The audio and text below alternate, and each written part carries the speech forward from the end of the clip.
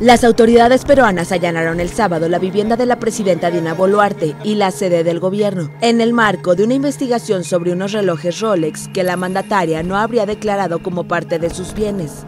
Agentes de policía junto a fiscales ingresaron a la casa de Boluarte en el este de Lima y luego registraron el Palacio de Gobierno en busca de los relojes cuya procedencia la mandataria no ha especificado.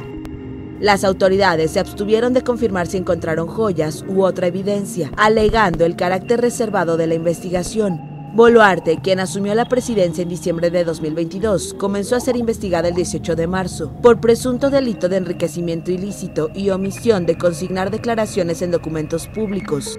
Me parece muy bien que la Fiscalía allane, me parece que allanen a todos. Que no tengo ningún desbalance patrimonial y la verdad sobre los hechos lo estaré haciendo ante la Fiscalía. Muchas gracias.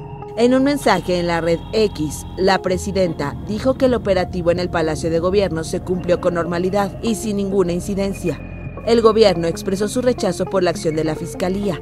Las operaciones de registro se efectuaron luego de que la Fiscalía no aceptara que la presidenta reprogramara una comparecencia en la que debía mostrar los relojes y sus comprobantes de adquisición.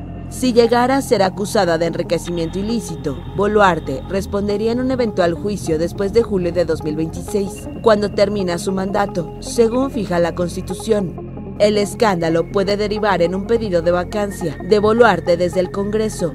Para que ello ocurra, las bancadas de derecha que controlan el Parlamento unicameral y son el principal sostén de la mandataria deberán apoyar a las minoritarias bancadas de izquierda en una alianza difícil de concretar.